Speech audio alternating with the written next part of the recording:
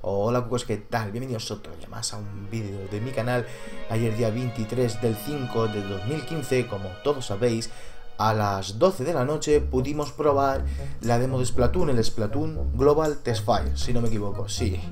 Eh, Fue la última vez que pudimos probar Splatoon antes de su lanzamiento, eso hay que decirlo. Y la verdad es que fue pues un chasco tíos Porque el servidor de Splatoon explotó. Sí, tíos, explotó igual que hacen las palomitas en el microondas. Fue, fue bastante increíble. Y al final hasta la una no pudimos no pudimos jugar otra vez a Splatoon y pudimos echar varias partidas y pudimos ver bastantes cosos y así que os he preparado un pedazo de vídeo con todas las claves de Splatoon, con todas las armas que están, las que no pudimos probar en la demo, pero sí eh, las que tendremos al final en el juego oficial, o sea, todo, todo, todo, todo lo que queréis saber de Splatoon estará en este vídeo. Bueno, cocos, empezamos. En primer lugar, lo que voy a hacer va a ser resumir brevemente lo que fue ayer la demo de Splatoon. Os voy a hacer nada, un, un breve resumen con lo que ayer pudimos jugar en Splatoon, ¿vale? Eh, bueno, lo primero que hacemos cuando entras te da a elegir entre chica o chico Vale, elegimos chico y ahora podemos eh, elegir el color del pelo Perdón, el color de la piel. Vamos a elegir el color de la piel y el color de los ojos. Bueno, luego ya en el juego os contaré lo que podremos hacer más con el personaje. Y nada, básicamente lo que hacemos al principio es jugar un pequeño tutorial en el que nos va explicando cómo movernos. Eh, Para subir hacia arriba y hacia abajo tenemos que usar el giroscopio del gamepad y para movernos hacia los lados la cámara eh, usaremos el joystick derecho y para moverte el joystick izquierdo, ¿vale? Luego también nos podremos, como ya sabéis, em, convertir en calamar, recuperar tinta y podemos usar varias armas, ¿vale? Podemos usar varias armas en la demo. En la demo nos dejaron usar cuatro armas. Hay más armas, ¿vale? Nos dejaron usar el lanzatintas novato, el lanzatintas normal, el rodillo básico y el cargatintas. Bueno, ahora después os explicaré qué equipamiento trae cada uno y para qué sirve. Y nada, ayer lo que pudimos lo que pudimos ver pues es eso. Eh, probar lo que sería una partida básica en Splatoon. Ayer pudimos jugar a dos a dos pantallas, al almacén Rodaballo y a la plataforma Gaviota. La verdad es que estaban bastante bien, fue bastante divertido. Las partidas eran cortas, eran de 3 minutos, daba bastante emoción y molaba un montón. No se te hacía pesado, a mí no se me hizo pesado para nada. Y probé eh, todas las armas. Como ya os he resumido lo que es la demo, ahora vamos con lo que trae el juego en sí, con lo que nos van a traer las actualizaciones. O sea, lo vais a saber todo, todo y todo. Bien, empecemos por las armas. ¿vale? Vamos a, a ver el lanzatintas novato.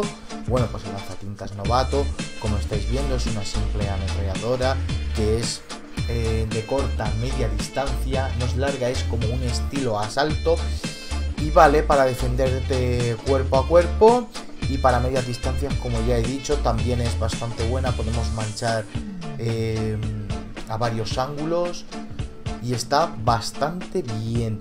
Eh, vamos a continuar con el cargatintas. Esta es un arma más de larga distancia, es devastadora, parece un bazooka. y la verdad es que está bastante bien. También nos podemos defender un poquito a medias distancias con disparos cortos, pero no es lo mismo. Esta, arma es buena a largas distancias, ya nos podremos subir a un punto, ya que nos podremos, perdón, subir a un punto elevado del escenario y usarlo para cubrir bastante de tinta. Es de decir que si recargamos este arma a tope, chicos, conseguiremos manchar muchísimo.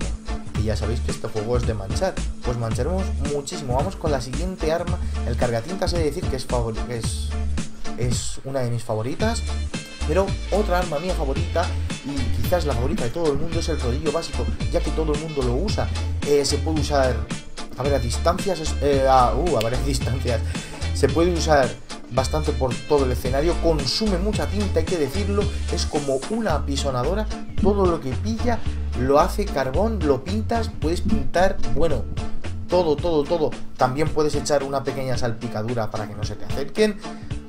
Ya te digo, es lo que más puedes pintar, lo más, eh, lo más puedes pintar, no.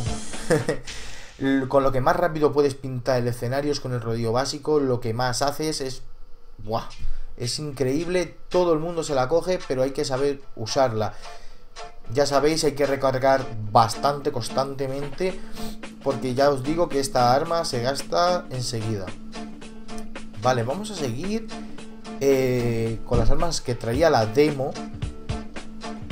Con la... Con el lanzatintas, antes hemos dicho lanzatintas novato y este es el lanzatintas eh, normal. Yo no los he visto mucha diferencia, la verdad. Hay que decirlo, pero parece ser que este es bastante mejor. Este es bastante mejor. Ya os he dicho antes, para disparar en todos los ángulos, cortas y medias distancias, pero sobre todo cortas. Eh, eres un asalto, puedes ir manchando desde diferentes ángulos, eso como ya he dicho está bastante bien, se gasta normal, hay que recargarlo. Y ya os he dicho que es un arma estándar bastante bien, bastante guapa, mejor dicho, que debe estar en vuestro equipo, no puede faltar en vuestro equipo eh, un tío con lanzatintas. Ahora después diré el equipo ideal. Bueno, ahora os voy a decir las que no venían en, en ayer en la, demo, en la Global Test Fire. Bueno, pues sería, eh, por así decirlo, el Devastador, que este nombre yo creo que se le han copiado a un arma del Perfect Dark, puede ser bastante, puede ser bastante parecida porque es como un lanzagranadas, pero que lanza pintura. La verdad es que tengo ganas de probarla porque tiene una pintaza y ayer no la pudimos probar. Así que nada, vamos con la siguiente que es em, la salpicadora 2000. La salpicadora 2000, pues lo mismo, también parece como un lanzagranadas, está bastante bien y hay que probarla. O sea, esta arma, eh, esta arma vendrá incluida en el juego y ayer no vino incluida. O sea, Nintendo no nos ha dado toda la tarta, sino nos ha dado un trozo del pastel para que nosotros lo probemos y estemos súper hipeados a comprar el juego. Así que nada, bueno, también he de decir que en el Cucos tendréis desde el primer día este juego, subiré gameplay, subiré un montón de cosas. Y nada, vamos con las armas secundarias. Eh, ¿Qué son las armas secundarias? Pues serán la bomba básica que la pudimos ver ayer, que es como una granada, tú la tiras y está bastante bien porque te puedes quitar a varios enemigos del medio. Además, muchas veces ni se la esperan, están de espaldas, la tiras, te puedes sacar de varios apuros, además que mancha bastante. Y luego la siguiente que vimos, que ayer yo no la vi, no sé si estará, pero yo no la vi, pero está bastante bien. Es el telón de tinta, lo tiras, es como una barrera que haces y está bastante bien porque puedes eh, cubrirte detrás, evitar que pase gente. A lo mejor solo hay una entrada y quieres pintar toda la zona, pues tiras el telón de tinta en la puerta, no van a poder pasar los del equipo rival y tú vas a poder pintarlos y hacerle la espera. Está bastante bien. Es para proteger y está bastante bien. Así que nada, vamos a pasar a las armas eh, especiales, que es el tinta azúcar, que es un bazooka que mancha bastante. Y luego mi favorita, que no la he visto, que es la Tornado. Ya os digo que os podéis meter en la página oficial de Splatoon y verlas. Yo os lo aconsejo porque están bastante bien. El Tornado es como un misil, es un misil que tiras, que al caer crea un torbellino y es impresionante, lo llena todo de pintura y lo revienta todo lo que pasa a su paso. O sea, es impresionante, de verdad. Recomendadísimo. Bueno, ya hemos visto las armas, así que ahora vamos a pasar a los amigos. Sí, los amigos especiales que trae... Bueno, mejor dicho, que me he equivocado. Si tú te compras la edición coleccionista o la edición especial, como le queréis llamar, de Splatoon, va a traer un amiibo, un amiibo que es único. Es único, es el calamar. Bueno, pues, ¿qué nos da el calamar? El calamar, como estáis viendo en la imagen, nos dará ese equipamiento exclusivo que está bastante bien, que es como una armadura, está muy guapo. Si nos compramos el amigo de Linkin Chica, nos dará un equipamiento exclusivo para la chica y el de chico, otro equipamiento, como estáis viendo, exclusivo para el chico. ya os digo, esos equipamientos no se podrán conseguir en el juego, solo se podrán conseguir con el amigo y a lo mejor luego nos darán más cosas. Así que nada, eh, yo os aconsejo que os pilléis los amigos, más, porque son, más que porque son buscados Eh, porque este equipamiento hay que tenerlo, aunque a mí me dará bastante pena sacarlos de la caja, pero yo querré ese equipamiento, yo querré ese equipamiento. Nada, vamos a continuar. Bueno, vamos a continuar con el contenido exclusivo gratuito tras el lanzamiento. Otra cosa que hace Nintendo por lo que se caracteriza por sus contenidos gratuitos, sus DLC gratuitas, baratas hay que pagar cantidades extraordinarias por una simple arma. Así que nada, vamos a por ella. El contenido gratuito tras el lanzamiento incluirá 5 escenarios, que será el Parque Viaducto, la plataforma Gaviota, que es la que pudimos jugar ayer, el almacén Rodaballo, el Parque Lubina y la plazuela Calamar. ¿Vale? Además, cada pocas semanas se introducirán nuevos, se introducirán nuevos escenarios.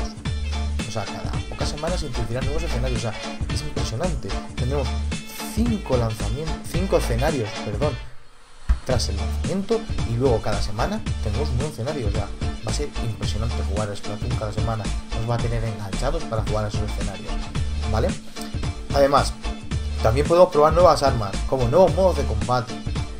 Eh, dicen, he estado leyendo que hay un nuevo modo competitivo llamado Torre, que saldrá tras el lanzamiento, así que pues hay que verlo. Luego en agosto se añadirá un nuevo modo de juego que podremos formar equipo con cuatro jugadores, sí, con cuatro amigos. Con cuatro amigos podremos formar un equipo. Eso no estará disponible de lanzamiento, sino en agosto saldrá esa actualización y todos estamos súper hype porque queremos esa actualización. O sea, yo quiero ya formar un equipo con mis amigos y jugar y darlo todo en Splatoon, ¿vale? También podremos jugar y crear encuentros privados para 8 jugadores, o sea, retarnos entre equipos, o sea, va a ser impresionante.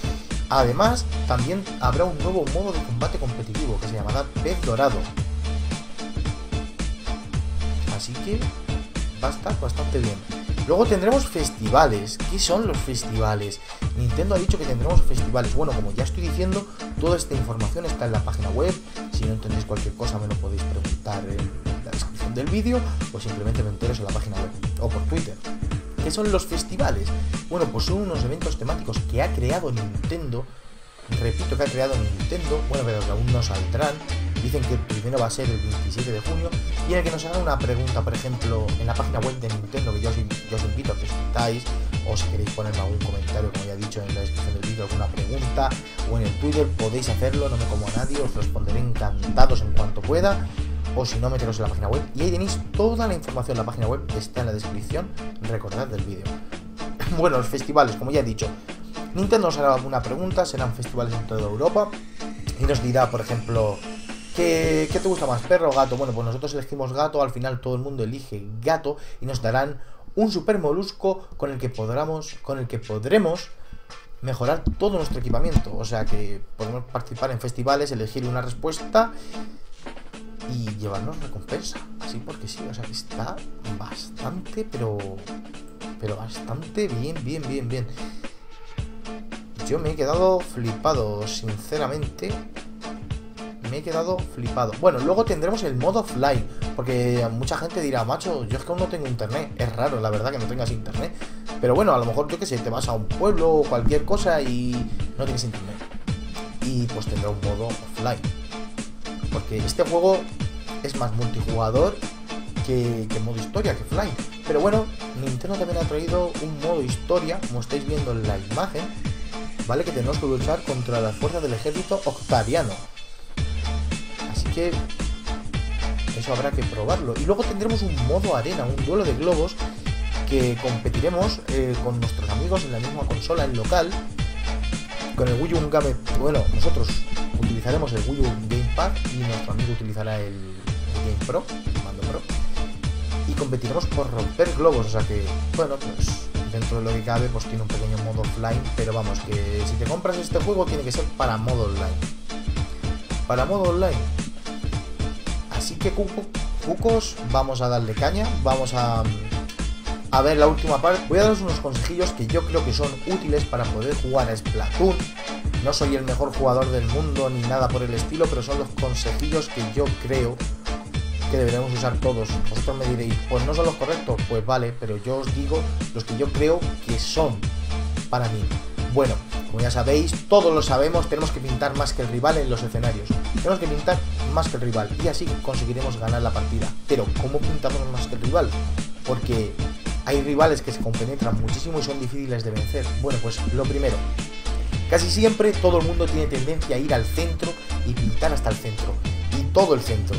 ¿Vale? Pues nosotros podemos usar las orillas para llegar a la base del rival, pintarla, también los podemos acorralar en el punto de salida si somos varios y tenemos mejoras especiales, podremos acorralarlos y vencerlos. También apoderarse de una zona es bastante, bastante bueno. Por ejemplo, el centro hay mucha gente que se puede apoderar y a lo mejor cada uno va a su bola. Lo importante es estar concentrados con el equipo. Eso es lo más importante, estar concentrados con el equipo. Que así conseguiremos ganar, apoderarnos de las zonas más grandes.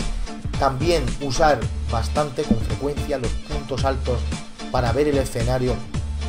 Esperar a nuestros rivales dentro de la tinta también es bastante lógico porque ya que no nos ven, no saben que estamos ahí y cuando pase podemos darle por detrás, por delante o tirar una granada.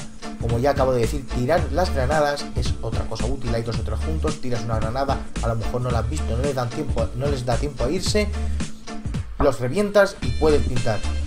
Usar el telón cuando lo tengamos también, porque podemos bloquear esa zona, pintarla, hacer la espera y demás. Ir juntos con otro compañero se llama ir de la mano, pero también nos puede ayudar. Mientras que uno va con el rodillo el otro va con el lanzatintas y te puede cubrir, cubrirnos constantemente, eso hará que consigamos la victoria en Splatoon. Y nada, cucos, hasta aquí este vídeo. Espero que os haya gustado. Si es así, like, comentar, favoritos y por favor compartidlo. Y nada, cucos, encantado de hacer este vídeo para vosotros. Haré el unboxing de la edición especial y, como no, empezaré a hacer gameplays a su lanzamiento. Así que nada, cucos, cuidaros y nos vemos en el siguiente gameplay. Hasta la próxima.